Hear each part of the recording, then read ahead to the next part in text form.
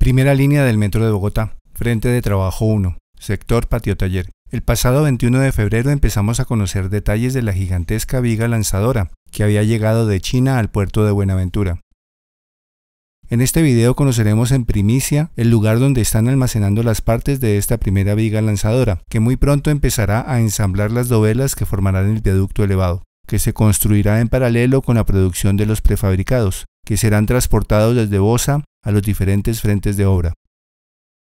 Este equipo cuenta con cinco componentes principales, la estructura del bastidor, la estructura de soporte, la grúa, el dispositivo de colocación y el mecanismo de desplazamiento lateral para armar el viaducto en línea recta y en curva. Cada viga lanzadora puede levantar un peso máximo suspendido hasta de 700 toneladas.